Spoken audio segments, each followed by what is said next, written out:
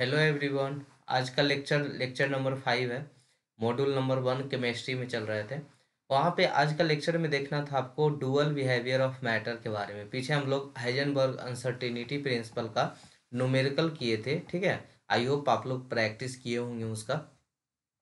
तो dual behaviour of matter में देखते हैं। लुइस डी ब्रोगली 1924 में एक थ्योरी प्रपोज किया था। उसमें उन्होंने बताया था कि जो आपका आपका मैटर है, वो किसके तरह बिहेव करता है? पार्टिकल नेचर और वेव नेचर दोनों की तरह काम करता है, जैसे रेडिएशन में हम लोग देख रहे थे, ठीक है?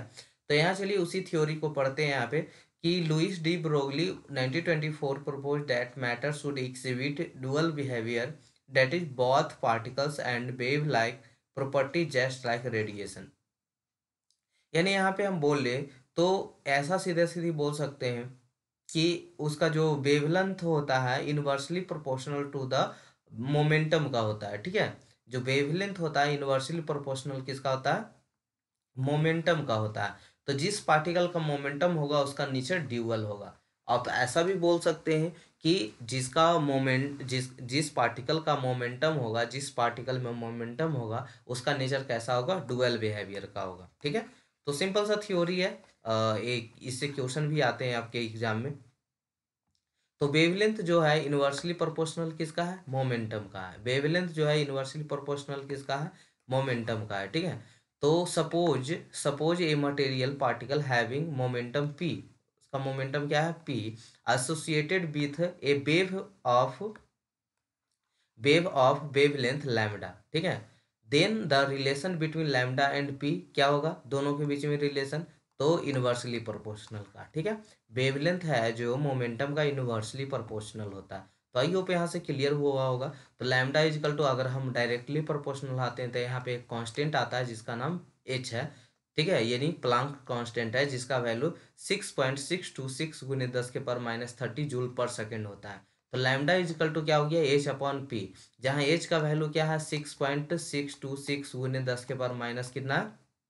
थर्टी फोर जूल पर सेकेंड होता है। यही अर्घ की बात करें एच का वैल्यू ध्यान से सुनिएगा। एच का वैल्यू अगर हम जूल पर सेकेंड में लेते हैं तो six point six two six गुने दस के power minus thirty six joule पर सेकेंड होता है। लेकिन आगे न्यूमेरिकल आने वाला है, उसमें हम लोग अर्घ में बनाते हैं तो six point six two six गुने दस के पावर माइनस ट्वेंटी सेवन अर्घ पर सेकेंड होता है, ठीक है? अर्घ पर सेकेंड होता है। तो ये आपका अर्ग में है, ये जूल में है तो इस बात का खास ध्यान रखना है, ठीक है? चलिए तो यहाँ पे जो एच का वैल्यू है, वो प्लांक कॉन्स्टेंट है, जो आप पीछे पढ़े होंगे six point six two six गुने दस के पर माइनस थर्टी सिक्स जूल पर सेकेंड और पी का पी क्या है, जहाँ पी क्या है पी है आपका मोमेंटम और लैमडा क्या है वेव लेंथ लैमडा क्या है वेव लेंथ तो यही यहाँ पे इक्वेशन बन के आ रहा है जो, इसका, क्या बोलते हैं इसका डी ब्रेगली का कि lambda equal to h upon momentum. Momentum को यहाँ पे हम क्या कर दिए? एम भी कर दिए। ठीक है? जो आप अभी कर रहे थे ना, lambda directly, inversely proportional to momentum तो मोमेंटम को यहाँ एम भी कर दिए डायरेक्टली प्रोपोर्शनल हटाएँ तो इनवर्सली प्रोपोर्शनल हटाएँ तो यहाँ पे एच आ गया, जिसको हम लोग प्लांक्स कॉन्स्टेंट के नाम से जानते हैं। ठीक है? तो इस और यहाँ पे अगर एक एक चीज़ लिखा हुआ है कि जब कोई इलेक्ट्रॉन ऑर्बिट में मोशन करता है तो वह एक वेव की तरह मोशन करता है। बाई डी ब्रोगली, ये बताए थे कि जब कोई इलेक्ट्रॉन ऑर्बिट में मोशन करता तो वेव की तरह, वेव की तरह, पार्टिकल की तरह नहीं, वेव की तरह मोशन करता है। तो ये यहाँ पे उसी को लाइन लिख दिया गया, the wavelength associated with the material particle is measurable and significant for the microscopic bodies पे क्या है मेजरेबल है। लेकिन ये कब मेजरेबल नहीं है? जब microscopic bodies the wavelength of the associated waves is shorter than any electromagnetic radius तो it can not be measure फिर मेजर नहीं होगा, ठीक है? आइए न्यूमेरिकल उसका करते हैं हम लोग। न्यूमेरिकल करते हैं, बहुत ही आसान सा सिंपल सा न्यूमेरिकल है। आपको यूज़ क्या क्या करना है, देख लीजिएगा, ठीक है? चलिए, यहाँ से क्वेश्चन एक क्वेश्चन है आगे वाले क्वेश्चन पूछे हुए हैं। तो calculate de Broglie wavelength alpha particles which are associated with the energy of hundred mega electric volt M E भी मतलब मेगा यहाँ बगल में लिख भी दिए, ठीक है?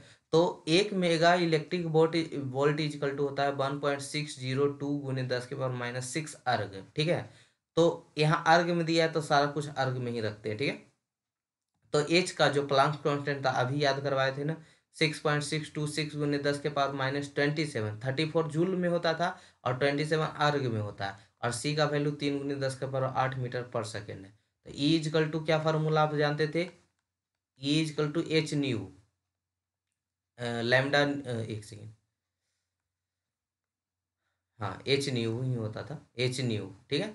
एच न्यू और न्यू का वैल्यू क्या होता था? न्यू का वैल्यू सी अपॉन लैमडा तो ये यहाँ पे पुट कर देंगे तो लैमडा न्यू का वैल्यू क्या हो गया? सी अपॉन एक सेकेंड एक सेकेंड एच न्यू एच बोले लेकिन लिख दिए लैमडा ठीक है? एच यहाँ पे लिखिए। एच न्यू ठीक है? तो एच है एच का वैल्यू तो प्लांक कांस्टेंट है न्यू का वैल्यू क्या लिखे? C upon lambda c upon lambda ठीक है? तो E equal to h c upon lambda हो गया।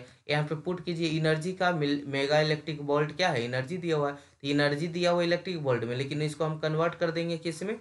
किसमें कन्वर्ट करेंगे? या अर्ग में करेंगे। तो एक एक mega electric volt equal to कितना दिए थे? ऊपर ही लिखा दिए, इसीलिए ऊपर ही लिखा दिए थे। एक mega electric volt equal to कितना था? One point six zero two गुने दस के पावर माइनस सिक्स अर्ग था। तो हंड्रेड में उसको मल्टीप्लाई कर देंगे equal to six point six two गुने एज का वैल्यू था एज का वैल्यू प्लांक कांस्टेंट का वैल्यू था, और इंटू लाइट का वैल्यू बटा लैमडा अर्ग से अर्ग कैंसिल आउट हो गया सब मीटर में आ जाएगा, ठीक है? तो लैमडा का वैल्यू यहाँ से आ गया वन पॉइंट कैलकुलेशन कर लीजिएगा ना वन पॉइंट टू फोर गुने दस के फोर माइनस फोर्टीन मीटर ठीक है? लैमडा का वैल्यू आ गया। चलिए दूसरा क्वेश्चन देखते हैं। Calculate the energy per photon for radiation of wavelength 650 picometer, ठीक है? तो एक पिकोमीटर इजकल टू कितना होता है? दस के पावर माइनस ट्वेल्व मीटर, ठीक है? नैनोमीटर इजकल टू कितना होता था? एक नैनोमीटर इजकल टू दस के पावर माइनस नौ मीटर, दस के पावर माइनस नौ मीटर। तो calculate the energy per photon for radiation of wavelength 650 picometer. तो इसका आपको एनर्जी निकालना है तो एनर्जी एक फोटोन का एनर्जी निकालना है। तो energy equal to h nu होता है। न्यू का वैल्यू सी अपॉन लैमडा सारा वैल्यू पुट कर दिए एच का वैल्यू पता था सी का वैल्यू पता था लैमडा का वैल्यू पिकोमीटर में दिया हुआ था। तो 650 पिकोमीटर था। इसको कन्वर्ट कर दिए मीटर में तो क्या हो जाएगा? 650 सौ पचास गुने दस के पावर माइनस ट्वेल्व मीटर ठीक है? उससे डिवाइड कर दिए वैल्यू आ गया इसका। ठीक है? चलिए, और कोई दिक्कत नहीं। चलिए, आते हैं, एक क्वेश्चन पूछा हुआ है। यहाँ बस चार हज़ार ना तो हाँ एग्ज़ाम में तीन हज़ार था बस। ठीक है?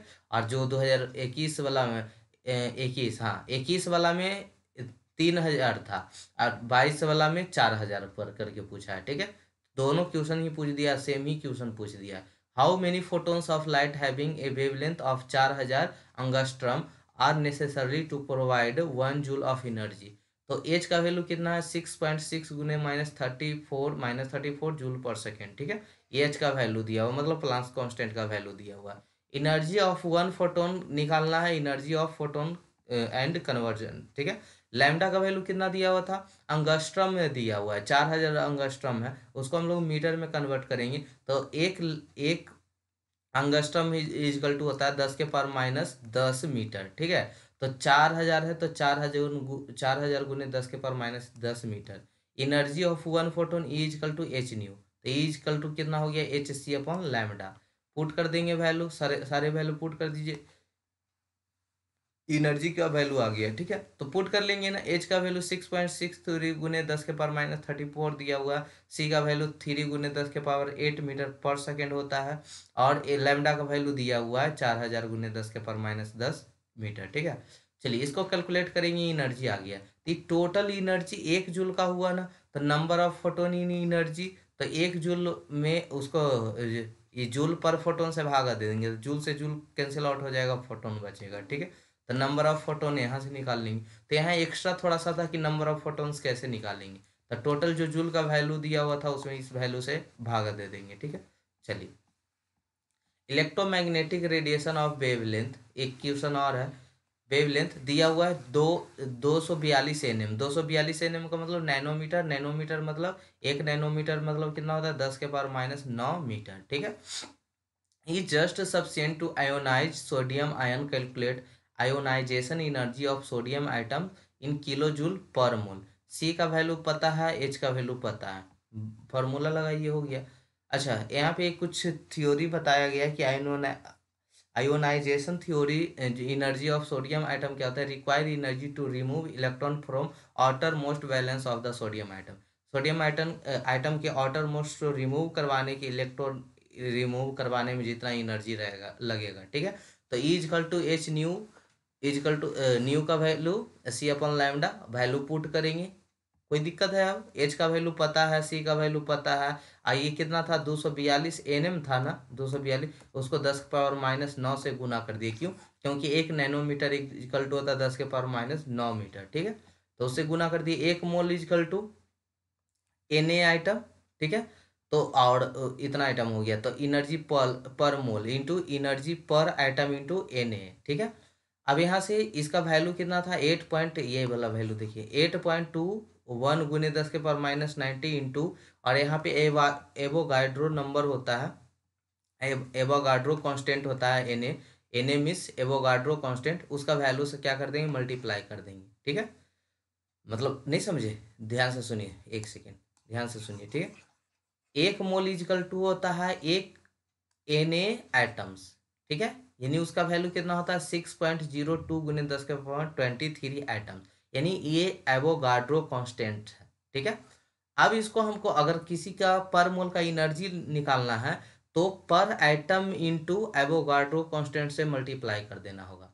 किसी एक मोल का एनर्जी निकालना है तो उसमें जितने भी एटम्स पर एटम्स लगे होंगे, सबको किससे मल्टीप्लाई कर देंगे? एवोगाड्रो कांस्टेंट से।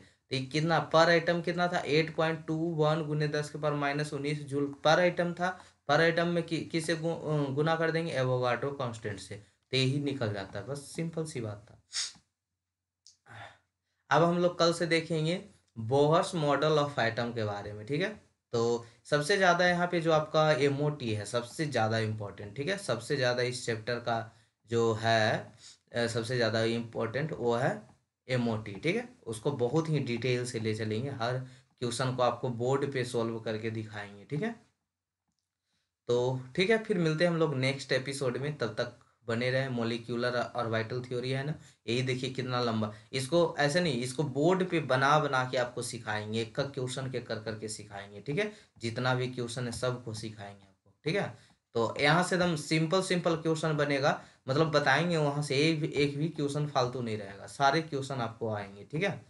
चलिए, ठीक है, मिलते हैं फिर नेक्स्ट एपिसोड में। तब तक आप पढ़ते